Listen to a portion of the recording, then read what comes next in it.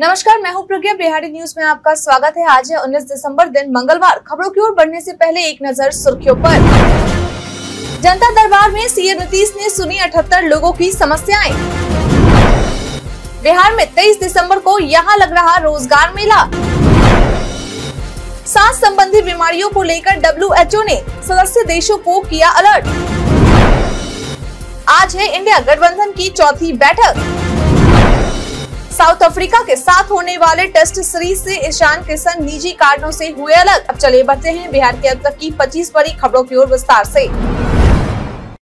भारतीय नौसेना में 910 पदों के लिए निकली भर्ती। भारतीय नौसेना की ओर से चार्जमैन, सीनियर ड्राफ्ट्समैन और ट्रेड्समैन मिट के अंतर्गत विभिन्न पदों के लिए कुल 910 पद पर भर्ती निकाली गई है। ऐसे में वो लोग जो इसके लिए आवेदन करना चाहते हैं, वह इंडियन नेवी की official website join Indian navy dot G O V dot in पर जाकर ऑनलाइन तरीके से अपना आवेदन कर सकते हैं। बता दें कि आवेदन करने की अंतिम तारीख 31 दिसंबर 2023 तक निर्धारित की गई है। इसके लिए अगर शैक्षणिक योग्यता की बात करें तो आवेदक को पदानुसार दसवीं के साथ आईटीआई संबंधित क्षेत्र में डिप्लोमा, इंजीनियरिंग डिप्लोमा, ग्रेजुएशन आदि किया होना अनिवार्य है। इससे जुड़ी अधिक जानकारी के लिए एक बार जारी किए गए नोटिफिकेशन को ज़रूर देख ले। सरकारी स्कूलों में पढ़ने वालों का होगा वीकली टेस्ट। बिहार शिक्षा परियोजना परिषद की ओर से राज्य के सरकारी स्कूलों में पढ़ने वाले छात्र छात्राओं के लिए एक पहल की शुरुआत की गई है, जिसके तहत अब पहली से बारहवीं तक के विद्यार्थियों को वीकली टेस्ट यानी कि साप्ताहिक टेस्ट देना होगा। ऐसे में अब प्रत्येक सप्ताह विद्यार्थियों का मूल्यांकन होगा। मालूम हो कि सभी विषयों के लिए साप्ताहिक मूल्यांकन का आयोजन प्रत्येक सप्ताह में एक बार शिक्षकों के द्वारा किया जाएगा। शिक्षक वर्गवार निर्धारित अधिगम प्रतिफल के आधार पर पाठ्य पुस्तक की सहायता से प्रश्नों का चयन करेंगे। बता दें कि पहली से आठवीं का मूल्यांकन अधिकतम 10 अंकों का होगा और नौवीं से बारहवीं का मूल्यांकन अधिकतम 20 अंकों का होगा। मालूम हो कि इससे छात्र छात्राओं के शैक्षणिक स्तर में सुधार होगा। साप्ताहिक मूल्यांकन के लिए शिक्षक प्रश्न ब्लैक बोर्ड पर लिखेंगे और इस दौरान सभी छात्र छात्राओं के पास एक नोटबुक या अभ्यास पुस्तिका होगी, जिसका उपयोग साप्ताहिक मूल्यांकन के लिए होगा। एक सप्ताह तक वे कक्षा में जिन अध्यायों का अध्यापन करेंगे, मूल्यांकन में उन्हीं पाठ से प्रश्न पूछे जाएँगे। बिहारी बर्थडे स्पेशल में आज हम बात करेंगे उपेंद्र नाथ ब्रह्मचारी के बारे में। उपेंद्र नाथ ब्रह्मचारी का जन्म आज ही के दिन अठारह सौ तिहत्तर में बिहार प्रांत के मुंगेर ज़िले के जमालपुर नामक शहर में हुआ था। वह भारत के एक वैज्ञानिक एवं अपने समय के अग्रगण्य चिकित्सक थे। 1922 में उन्होंने यूरिया स्टेबिमाइन का संश्लेषण किया और निर्धारित किया कि वह काला अजार के उपचार के लिए उन पदार्थों का एक अच्छा विकल्प है जिनमें एंटीमनी होता है। उन्हें राय बहादुर की उपाधि से सम्मानित किया गया और कैसर ए हिंद स्वर्ण पदक से सम्मानित किया गया। इसके अलावा उन्हें गवर्नर जनरल लॉर्ड लिटन द्वारा प्रथम श्रेणी और ब्रिटिश सरकार द्वारा नाइटहुड से सम्मानित किया गया। ब्रह्मचारी को उन्नीस सौ उनतीस में दो बार नोबेल पुरस्कार के लिए और 1942 में पाँच बार शरीर विज्ञान या चिकित्सा की श्रेणी में नामित किया गया था। वह भारतीय संग्रहालय के न्यासी बोर्ड के उपाध्यक्ष भी थे। वह इंडियन केमिकल सोसाइटी कलकत्ता के अध्यक्ष थे। उन्हें Royal Society of Medicine London और भारतीय राष्ट्रीय विज्ञान अकादमी की फेलोशिप के साथ साथ दो साल तक एशियाटिक सोसाइटी ऑफ़ बंगाल के अध्यक्ष से सम्मानित किया गया था। लंबित और दिलचस्पी नहीं दिखाने वाले मामले पर एचसी इस दिन करेगी सुनवाई। बीते दिन पटना हाईकोर्ट के chief justice K V Chandran की खंडपीठ के द्वारा पिछले दो दशकों से राज्य की निचली अदालतों में बड़ी संख्या में लंबित आपराधिक मुकदमों को लेकर कौशिक रंजन की जनहित याचिका पर सुनवाई की गई। मालूम हो कि पिछली सुनवाई में कोर्ट के द्वारा राज्य सरकार को इस मामले में सर्वे करने के लिए दो सप्ताह का समय दिया गया था और साथ ही बिहार राज्य विधिक सेवा प्राधिकार के सचिव को नेशनल जुडिशियल ग्रीड और नेशनल क्राइम रिकॉर्ड ब्यूरो के उपलब्ध आंकड़े को मूल रिकॉर्ड से जाँच करने का निर्देश दिया गया था। बता दें कि याचिकाकर्ता के अधिवक्ता के द्वारा कोर्ट को बताया गया कि राज्य में लगभग सड़सठ हज़ार मामले ऐसे हैं जिसमें पार्टियाँ कोई दिलचस्पी नहीं दिखा रही। और साथ ही वकीलों की सहायता के अभाव में लगभग सात लाख आपराधिक मामले लंबित है। बता दें कि अब इस मामले पर कोर्ट के द्वारा अगली सुनवाई तेईस फरवरी 2024 को की जाएगी। प्रतियोगी परीक्षा की तैयारी की कक्षाओं का होगा सीधा प्रसारण। राज्य के पिछड़ा वर्ग एवं अति पिछड़ा वर्ग के वैसे छात्र छात्राएँ जो बिहार की राजधानी पटना के अंतर्गत जननायक पुस्तकालय एवं राज्य डिजिटल अध्ययन केंद्र पर नामांकन नहीं ले सकेंगे, उनके लिए शिक्षा का प्रबंध करते हुए बिहार सरकार के कल्याण विभाग की ओर से संचालित जननायक कर्पूरी ठाकुर छात्रावास, अन्य पिछड़ा वर्ग कन्या आवासीय प्लस दो उच्च विद्यालय, अन्य पिछड़ा वर्ग छात्रावास में डिजिटल अध्ययन केंद्र पर चलने वाली कक्षाओं का सीधा प्रसारण किया जाएगा। बता दें कि यह कक्षा शिक्षकों के द्वारा पटना के कंकरबाग स्थित केंद्र पर लेंगे, जिसका ऑनलाइन मोड में अनेक केंद्रों पर प्रसारण किया जाएगा। आपकी जानकारी के लिए बता दें कि इस केंद्र में नामांकन लेने के लिए आवेदन की प्रक्रिया शुरू हो गई है और आवेदन करने की अंतिम तारीख 31 दिसंबर 2023 तक निर्धारित की गई है।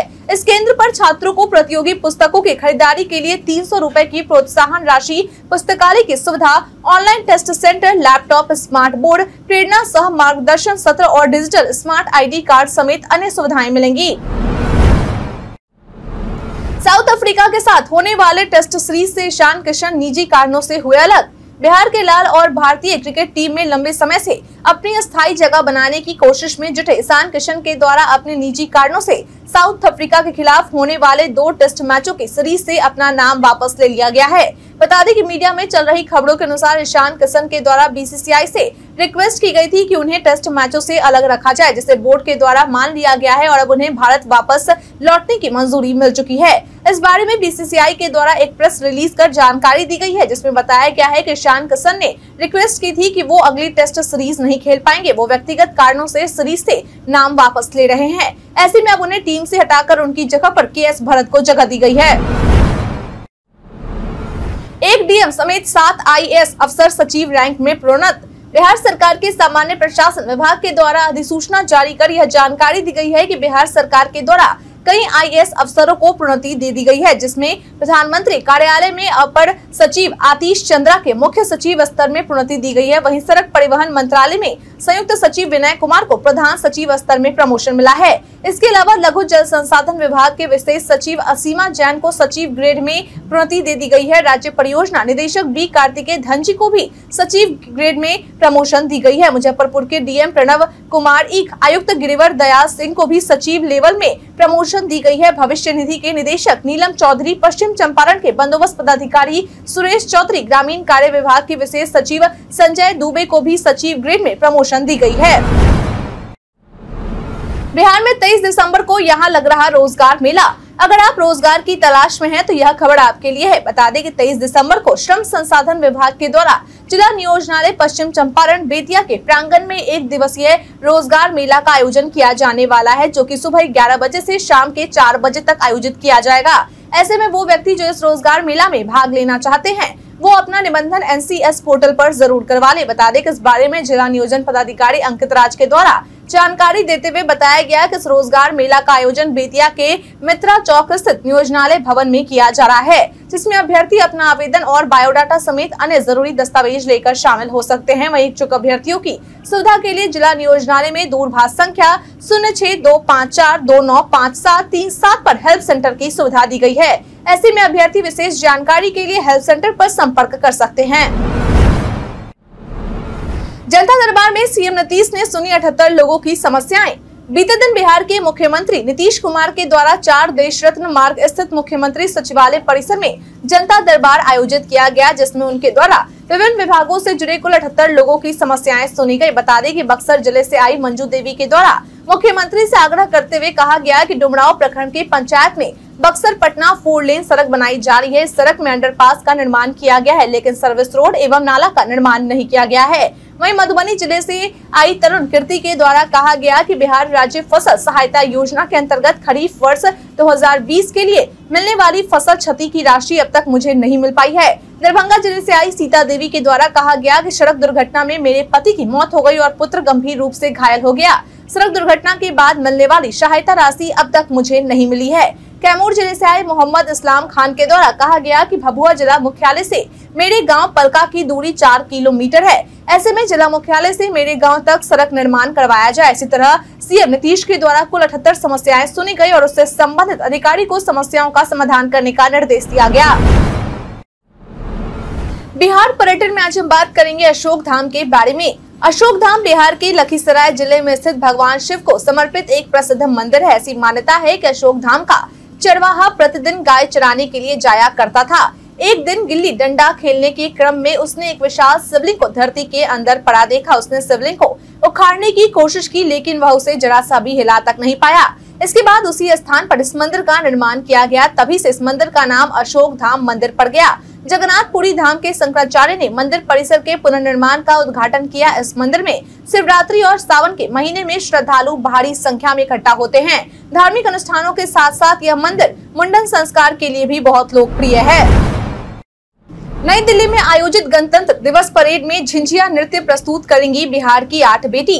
26 जनवरी 2024 को यानी कि गणतंत्र दिवस के मौके पर बिहार की आठ बेटियों के द्वारा नई दिल्ली के कर्तव्य पथ पर होने वाले परेड में झिंझिया नृत्य प्रस्तुत करने का काम किया जाएगा। बता दें कि ये सभी आठ लड़कियाँ पूर्णिया किलकारी की छात्रा हैं। ऐसे में इस नृत्य की प्रस्तुति को लेकर इनके द्वारा तैयारियाँ शुरू कर दी गई है। अपनी इस नृत्य प्रस्तुति को लेकर छात्रा कहती हैं कि प्रधानमंत्री और राष्ट्रपति के सामने बिहार की संस्कृति को प्रदर्शन करने का गौरव हम सबको प्राप्त हुआ है, जो हमारे लिए अविस्मरणीय क्षण होगा। उन्होंने कहा कि उनकी प्रस्तुति से अन्य लोगों को भी मिथिला की संस्कृति की जानकारी मिलेगी। वहीं किलकारी पूर्णिया के कोऑर्डिनेटर प्रदीप सील के द्वारा जानकारी देते हुए बताया गया कि इससे पहले भी राज्य और राष्ट्र पर कई प्रतियोगिताओं में पूर्णिया किलकारी की छात्राओं ने उम्दा प्रदर्शन किया है। सैकड़ों शिक्षकों को दिया प्रमोशन का तोहफा। बिहार सरकार के शिक्षा विभाग के संयुक्त सचिव की ओर से अधिसूचना जारी कर यह जानकारी दी गई है कि राज्य के राजकीय कृत और परियोजना उच्च विद्यालयों के पाँच सौ तिरासी सहायक शिक्षकों को प्रोन्नति देकर प्रधानाध्यापक बना दिया गया है। ऐसे में अब सभी प्रोन्नत किए गए शिक्षकों को अब प्रधानाध्यापक का वेतन मान मिलेगा। बता दें कि विभागीय अधिसूचना के अनुसार सामान्य प्रशासन विभाग की अधिसूचना संख्या एक नौ तीन शून्य शून्य जो तेरह अक्टूबर को जारी हुई थी, में निहित प्रावधान के तहत राजकीय कृत और परियोजना उच्च विद्यालयों के सहायक शिक्षकों का राज्य स्तरीय वरिता सूची की मूल कोटि के आधार पर अस्थायी व्यवस्था के तहत उच्चतर पद का प्रभार दिया जाएगा। मालूम इनके कार्यभार संभालने के बाद संबंधित विद्यालयों में प्रशासनिक और शैक्षणिक व्यवस्था व्यवस्था सुदृढ़ होगी लंबी ट्रेन की यात्रा को आरामदायक बनाने के लिए फॉलो करें ये टिप्स ट्रेन में लंबी यात्रा करना बहुत थकानदायक हो जाता है। ऐसे में अगर आप अपनी लंबी ट्रेन की यात्रा को आरामदायक बनाना चाहते हैं तो यह खबर आपके लिए है। बता दें कि इसके लिए आपको कुछ स्टेप्स फॉलो करने होंगे। इसके तहत आपको अपनी लंबी ट्रेन यात्रा के दौरान घर की कुछ खाने की चीज़ें ज़रूर साथ रखें, क्योंकि कई बार ऐसा होता है कि ऐसी सिचुएशन बन जाती है जब आपको कुछ नाश्ता नहीं मिलता।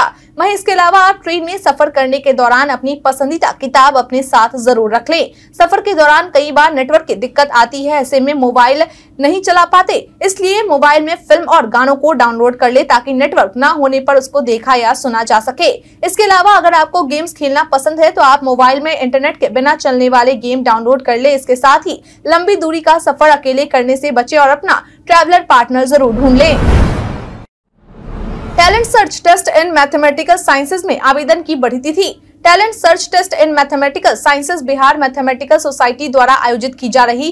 पहले इसके आवेदन की अंतिम तिथि 18 दिसंबर तक निर्धारित की गई थी, लेकिन अब इसके ऑनलाइन आवेदन की तिथि को बढ़ाकर इकतीस दिसंबर 2023 तक कर दिया गया है। नालंदा ओपन यूनिवर्सिटी सह बिहार मैथमेटिकल सोसाइटी के अध्यक्ष के सी सिन्हा द्वारा इसकी जानकारी दी गई है। उन्होंने कहा है की इस प्रतियोगिता परीक्षा के माध्यम से ग्रामीण क्षेत्र के बच्चों की प्रतिभा को निखारने और आईआईटी के माध्यम से बच्चों को प्रशिक्षित किया जाता है। वही सोसाइटी के संयोजक सह संयुक्त सचिव डॉक्टर विजय कुमार द्वारा बताया गया कि प्रतियोगिता में शामिल होने के लिए कोई शुल्क नहीं है। परीक्षा कक्षा छठी से बारहवीं और स्नातक एवं स्नातोत्तर छात्रों के लिए आयोजित होते हैं। सांस संबंधी बीमारियों को लेकर डब्ल्यूएचओ ने सदस्य देशों को किया अलर्ट। विश्व स्वास्थ्य संगठन के द्वारा सदस्य देशों को सांस संबंधी बीमारियों के बढ़ने और कोरोना के नए सब वेरियंट जे को लेकर अलर्ट किया गया है। बता दें कि डब्ल्यू के द्वारा कहा गया है कि वायरस अपना स्वरूप बदल रहा है। ऐसे में बीमारियों के प्रसार को रोकने के लिए देश मज़बूत सर्विलांस रखें। इसके साथ ही डब्ल्यूएचओ के द्वारा कोविड उन्नीस पर संगठन की टेक्निकल लीड मारिया वान के रखोव का एक वीडियो भी सोशल मीडिया पर साझा किया गया है, जिसमें सांस संबंधी बीमारियों के फैलने की वजह, इन्हें रोकने की वजह और क्या सावधानी निगरानी रखी जाए। इसके बारे में जानकारी दी गई है।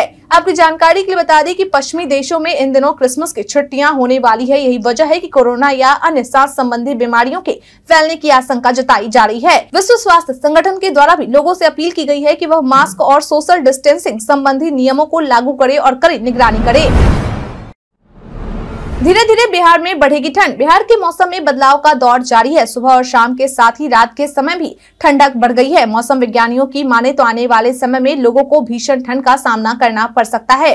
पटना मौसम विज्ञान केंद्र के मुताबिक अगले 24 घंटों के दौरान बिहार का मौसम शुष्क बना रहेगा। तापमान में किसी विशेष परिवर्तन की संभावना नहीं है। हल्के से मध्यम स्तर का कुहासा या धुंध राज्य के अधिकांश भागों के एक या दो स्थानों में सुबह के समय छाये रहने का पूर्वानुमान है।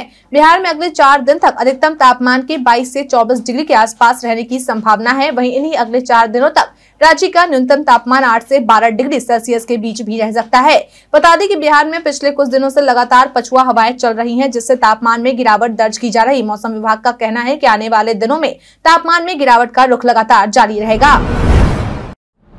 राज्य के ट्रांसजेंडरों को स्कूलों में मिलेगा छात्रवृत्ति का फ़ायदा।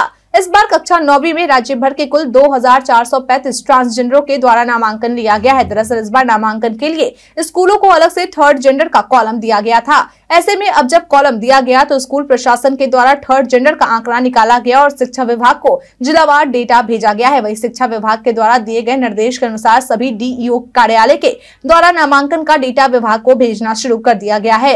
आपकी जानकारी के बता दें कि वर्ष दो हज़ार अठारह में बिहार बोर्ड के अध्यक्ष आनंद किशोर के द्वारा मैट्रिक और इंटर परीक्षा फॉर्म भरने में थर्ड जेंडर का कॉलम जोड़ा गया था। वही मालूम हो की ट्रांसजेंडरों के लिए केंद्र और राज्य सरकार के द्वारा कई योजनाएँ चलाई जाती है, जिसका फ़ायदा उन्हें नहीं मिल पाता। क्योंकि स्कूल प्रशासन को इस बारे में जानकारी नहीं होती थी कि उनके स्कूल में कितने ट्रांसजेंडर हैं। ऐसे में अब जिलावार आंकड़ा तैयार होने के बाद ट्रांसजेंडर को स्कूल के ज़रिए हर तरह के छात्रवृत्ति का फ़ायदा मिल सकेगा। सॉन्ग पर वर्दी पहनकर रील बनाना दो महिला पुलिस कर्मियों को पड़ा महँगा। बिहार के गया के महाबोधि मंदिर की सुरक्षा में तैनात दो महिला पुलिसकर्मियों को गाने पर वर्दी पहनकर रील बनाना महँगा पड़ गया है। दरअसल अब इनके द्वारा बनाई गई रील तेज़ी से वायरल हो रही है। ऐसे में इस मामले पर वरीय पुलिस अधीक्षक आशीष भारती के द्वारा संज्ञान लेते हुए दोनों महिला पुलिस की वीडियो की जाँच करने के लिए एसडीपीओ बोध गया व थानाध्यक्ष को अधिकृत किया गया है।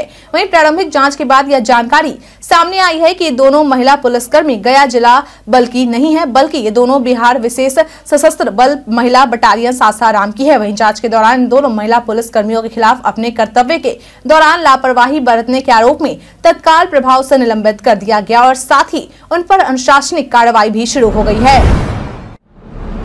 शेखपुरा में पाँच किलो सोने की लूट, करोड़ों है कीमत। बिहार के शेखपुरा ज़िले के बरभिग्गा प्रखंड अंतर्गत मुख्य बाज़ार में स्थित आशीर्वाद गोल्ड लोन में आधा दर्जन अपराधियों के द्वारा पाँच किलो सोने के लूट को अंजाम दिया गया है। बता दें कि सभी अपराधी नकाब पोशी थे और हथियार के बल पर लूट की घटना को अंजाम दिया गया है। वहीं लूट के बाद अपराधी पाँच किलो सोना लेकर भागने में सफल रहे, जिसकी कीमत दो करोड़ रुपए बताई जा रही है। इस बारे में सहायक प्रबंधक विकास कुमार के द्वारा जानकारी देते हुए बताया गया की अपराधी ग्राहक बनकर आए और पिस्तौल के बल पर कर्मचारी को कब्जे में लेकर लॉकर रूम को तोड़कर पाँच किलो सोना लेकर भाग गए। वहीं जब इसकी सूचना पुलिस को मिली तो पुलिस मौके पर पहुंचकर छानबीन की। इंस्पेक्टर सुनील दत्त के द्वारा बताया गया कि सूचना के बाद पुलिस सक्रिय है और अपराधियों को पकड़ने की कोशिश की जा रही है। आज है इंडिया गठबंधन की चौथी बैठक। आज यानी कि 19 दिसंबर को राष्ट्रीय राजधानी दिल्ली में इंडिया गठबंधन की चौथी बैठक होने वाली है। ऐसे में इस बैठक में शामिल होने के लिए बिहार के मुख्यमंत्री नीतीश कुमार उप मुख्यमंत्री तेजस्वी यादव और राजस्व सुप्रीमो लालू प्रसाद यादव दिल्ली पहुँच चुके हैं। वही मीडिया में चल रही खबरों के अनुसार आज होने वाली इस बैठक में सपा अध्यक्ष अखिलेश यादव और तृणमूल कांग्रेस की प्रमुख ममता बनर्जी और द्रुमक नेता एम के स्टालिन भी शामिल होंगे। इस बैठक को लेकर बताया जा रहा है की बैठक का एजेंडा तैयार हो चुका है, लेकिन आधिकारिक तौर पर अब तक एजेंडा जारी नहीं किया गया है। मीडिया में चल रही खबरों के माने तो आम चुनाव के लिए घटक दलों के बीच सीटों के बंटवारे को लेकर इस बैठक में विचार विमर्श हो सकता है। विपक्षी दलों ने 2024 के चुनाव में मिलकर चुनाव लड़ने के लिए यह गठबंधन बनाया है, जिसकी अब तीन बैठकें हो चुकी हैं। ये बैठकें पटना, बेंगलुरु और मुंबई में हुई हैं। लंबे समय से गठबंधन की बैठक नहीं होने पर कई नेताओं ने नाराज़गी भी व्यक्त की थी। लालू यादव पर बरसे सैयद शाहनवाज हुसैन। बिहार के पूर्व मंत्री व भाजपा नेता सैयद शाहनवाज हुसैन के द्वारा आज दिल्ली में आयोजित होने वाली इंडिया गठबंधन की बैठक को लेकर तंज कसा गया है। उन्होंने कहा कि ये लोग दिल्ली की बैठक में शामिल होने के लिए रवाना हुए हैं। इसी तरह जब 2024 में फिर से देश के प्रधानमंत्री बनने पर मोदी जी के शपथ में भी ये लोग जाएँगे। उन्होंने कहा की इस बैठक ऐसी कोई फ़ायदा नहीं होने वाला। दिल्ली आना जाना तो लगा ही रहेगा। 2024 में इंडिया गठबंधन का कोई भविष्य नहीं है। इस बैठक का कोई नतीजा नहीं निकलने वाला। इसके साथ ही उन्होंने पीएम पद का उम्मीदवार बिहार के मुख्यमंत्री नीतीश कुमार के बनाए जाने पर कहा कि नीतीश तब न पीएम उम्मीदवार बनेंगे जब कांग्रेस मानेगी। इसके अलावा उन्होंने राज्य सुप्रीमो लालू प्रसाद यादव के द्वारा पीएम को लेकर दिए गए बयान पर कहा कि मोदी जी को कौन क्या उखाड़ सकता है? देश की जनता उनके साथ है। दीपक चाहर को बिहार के लाल आकाशदीप ने किया रिप्लेस बिहार के लाल 27 वर्षीय आकाशदीप को भारतीय क्रिकेट टीम में जगह मिल गई है, जिससे उनके गाँव में खुशी का माहौल है। बता दें कि आकाशदीप बिहार के रोहतास ज़िले के शिव सागर प्रखंड के बड्डी गाँव के रहने वाले हैं और इनका चयन साउथ अफ्रीका के खिलाफ भारतीय टीम में वनडे इंटरनेशनल सीरीज़ के लिए हुआ है। आकाशदीप के द्वारा भारतीय टीम के खिलाड़ी दीपक चाहर को रिप्लेस किया गया है। मालूम हो की आकाशदीप नई और पुरानी दोनों ही गेंदों से स्विंग हासिल करने की क्षमता रखते हैं। वे आईपीएल में रॉयल चैलेंजर्स बेंगलुरु के लिए खेलते हैं और साथ ही हांगझोउ एशियन गेम्स में भारतीय टीम के सदस्य हैं। अब तक आकाशदीप के द्वारा 25 फ़र्स्ट क्लास मैच खेले गए हैं, जिसमें उनके द्वारा 90 विकेट चटकाए गए हैं। वही इस दौरान उनके द्वारा चार बार पाँच विकेट भी लिए गए हैं और पाँच बार चार विकेट लिए गए हैं। इसके अलावा फ़र्स्ट क्लास क्रिकेट में एक पारी में उनका बेहतर प्रदर्शन साठ रन देकर छह विकेट लेने का रहा है। वही उनका बेस्ट प्रदर्शन एक सौ बारह रन देकर दस विकेट देने का रहा है। भारत के इतिहास में आज की तारीख है कई कारणों से दर्ज। उत्तर प्रदेश ऑटोमोबाइल संघ की 1927 में स्थापना हुई। महान स्वतंत्रता सेनानी राम प्रसाद बिस्मिल अशफाक उल्ला खां और रोशन सिंह का 1927 में अंग्रेज़ों ने फांसी दे दी। सन 1961 में गोवा स्वतंत्र हुआ। ऑपरेशन विजय के तहत भारतीय सैनिकों ने 1961 में गोवा के बॉर्डर में प्रवेश किया। अमर्त्य सेन को उन्नीस में बांग्लादेश ने मानद नागरिकता से नवाजा डेनवर। डेनवर में आयोजित विश्व विकलांग स्कीइंग में सिल कुमार सर्वश्रेष्ठ खिलाड़ी घोषित। सैलजा आचार्य को 2006 में नेपाल ने अपना भारत में नया राजदूत नियुक्त किया। केनरा बैंक, एचडीएफसी व बैंक ऑफ़ राजस्थान ने 2008 में आवास, ऋण सस्ता करने की घोषणा की। भारतीय सिनेमा के प्रसिद्ध चरित्र अभिनेता ओम प्रकाश का जन्म उन्नीस में हुआ। भारत की प्रथम महिला राष्ट्रपति प्रतिभा देवी सिंह पाटिल का जन्म उन्नीस में हुआ। पूर्व क्रिकेटर नयन मुंगिया का जन्म उन्नीस में हुआ। अठारह से अठारह सौ छप्पन तक भारत के गवर्नर जनरल लॉर्ड डलहौजी का निधन अठारह में हुआ। महान स्वतंत्रता सेनानी ही नहीं, बल्कि उच्च कोटि के कवि, शायर, अनुवादक, बहुभाषाविद व साहित्यकार राम प्रसाद बिस्मल का निधन उन्नीस में हुआ। भारत के प्रसिद्ध स्वतंत्रता सेनानी अशफाक उल्ला खां का निधन उन्नीस सौ सताइस में हुआ। भारत की आज़ादी के लिए संघर्ष करने वाले क्रांतिकारियों में से एक ठाकुर रोशन सिंह का निधन उन्नीस सौ सताईस में हुआ। ज्ञानपीठ पुरस्कार सम्मानित और प्रसिद्ध गुजराती साहित्यकार उमा शंकर जोशी का निधन उन्नीस सौ अट्ठासी में हुआ। लेखक और गांधीवादी पर्यावरणविद अनुपम मिश्र का निधन 2016 में हुआ। वायरल फ़िल्म आज हम बात करेंगे इंडिया पोस्ट पेमेंट्स बैंक खाता के बारे में। सोशल मीडिया पर कई सूचनाएँ वायरल होती है, लेकिन सभी सच हो, ये ज़रूरी नहीं है। इसी कड़ी में आज हम बात करेंगे इंडिया पोस्ट पेमेंट्स बैंक खाता के बारे में। दरअसल पीआईबी ने अपने एक ट्वीट में लिखा है कि दावा किया जा रहा है कि अगर ग्राहक का पैन कार्ड अपडेट नहीं हो तो उसका इंडिया पोस्ट पेमेंट्स बैंक खाता चौबीस घंटे के भीतर ब्लॉक कर दिया जाएगा। पीआईबी ने अपने ट्वीट में आगे लिखा है कि दावा फर्जी है, इंडिया पोस्ट ऑफ़िस कभी भी ऐसा कोई संदेश नहीं भेजता, कभी भी अपनी व्यक्तिगत और बैंक जानकारी किसी के साथ साझा न करे। व्हाट्सएप में बदलने वाला है स्टेटस लगाने का अंदाज। व्हाट्सएप एक नए फीचर पर काम कर रही है जो फ़िलहाल कुछ बीटा टेस्टर्स के पास उपलब्ध है। दरअसल व्हाट्सएप ऐप में स्टेटस सेट करने के लिए दो नए ऑप्शन स्टेटस टैब के अंदर देने वाली है। वर्तमान में होता यह है कि हम स्टेटस टैब सेट करने के लिए स्टेटस टैब में जाकर कैमरा आइकॉन पर क्लिक करना होता है और हम तब स्टेटस सेट कर पाते हैं। ये ऑप्शन बॉटम में हमें मिलता है। नए अपडेट में कंपनी दो नए ऑप्शन स्टेटस टैब के अंदर देने वाली है, जहाँ यूज़र्स को एक कैमरा आइकॉन और पेंसिल बटन टॉप राइट में देखने को मिलेगा। यहाँ से आप आसानी से स्टेटस को सेट कर पाएँगे। अगर आपको कोई मीडिया फ़ाइल डालनी हो तो आपको कैमरा आइकन पर क्लिक करना होगा और कोई टेक्स्ट शेयर करना है तो पेंसिल बटन पर क्लिक करना होगा। नए अपडेट के ज़रिए अपनी कंपनी स्टेटस शेयर करने के एक्सपीरियंस को आसान और बेहतर बनाने वाली है। फ़िलहाल ये अपडेट कुछ बीटा टेस्टर्स के पास उपलब्ध है, जिसे आने वाले समय में कंपनी सभी के लिए रोल आउट कर सकती है। हम प्रतिदिन आपसे पाँच ऐसे ज़रूरी सवाल और उससे जुड़े जवाब बताएँगे जो कि बिहार पुलिस, बीपीएससी, दारोगा समेत एसएससी जैसे अन्य प्रतियोगी परीक्षाओं में काम आएँगे। सवाल इतिहास, बिहार स्पेशल, विज्ञान, करंट अफेयर्स और भूगोल से रहेंगे। पूछे गए पाँचों सवाल में आपने कितना सही उत्तर दिया, यह हमें कॉमेंट करके ज़रूर बताए। हमारा पहला सवाल है, हाल ही में एडीबी ने भारत की विकास दर के अनुमान को बढ़ाकर कितना प्रतिशत किया है? ऑप्शन ए, छह दशमलव सात, ऑप्शन बी, पाँच दशमलव सात, ऑप्शन सी, सात दशमलव छह ऑप्शन डी सात दशमलव पाँच।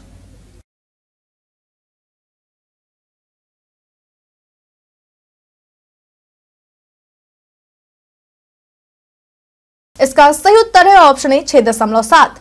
अगला सवाल, हाल ही में दुनिया के शीर्ष 50 एशियाई हस्तियों की सूची में शीर्ष स्थान पर कौन रहे हैं? Option A Shahrukh Khan, option B Amitabh Bachchan, option C Ratan Tata, option D Mukesh Ambani.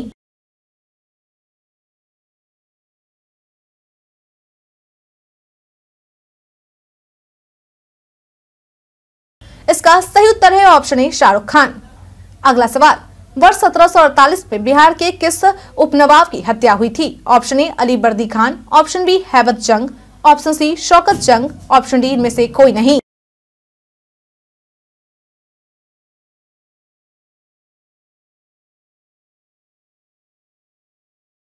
इसका सही उत्तर है ऑप्शन बी, हैबत जंग। अगला सवाल मधुबनी चित्रकला के संबंध में कौन सा कथन सही है? ऑप्शन ए यह लोक कला है। ऑप्शन बी इसमें अधिकतर महिलाओं की ही भूमिका रही है। ऑप्शन सी यह कला भित्ति चित्र और अड़ीपन दो प्रकार के हैं। ऑप्शन डी इनमें सभी।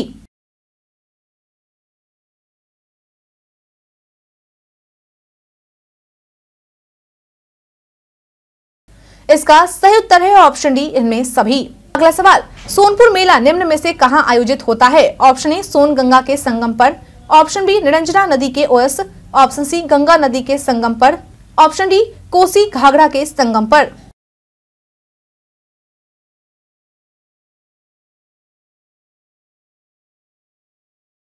इसका सही उत्तर है ऑप्शन सी, गंगा गंडक के संगम पर।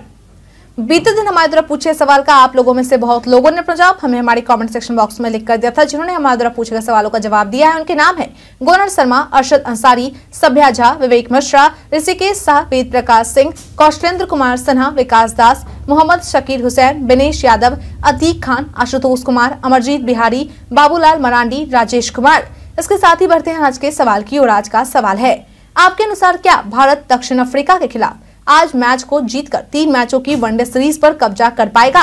अपना जवाब हमें हमारे कमेंट सेक्शन में लिखकर ज़रूर बताएँ। आज के लिए इतना ही। बिहार के तमाम खबरों के साथ बने रहने के देखते रहे बिहारी न्यूज़ और साथ ही अगर आप यूट्यूब से देख रहे हैं, चैनल को सब्सक्राइब करना और अगर आप फेसबुक से देख रहे हैं तो पेज को फॉलो करना न भूले। धन्यवाद।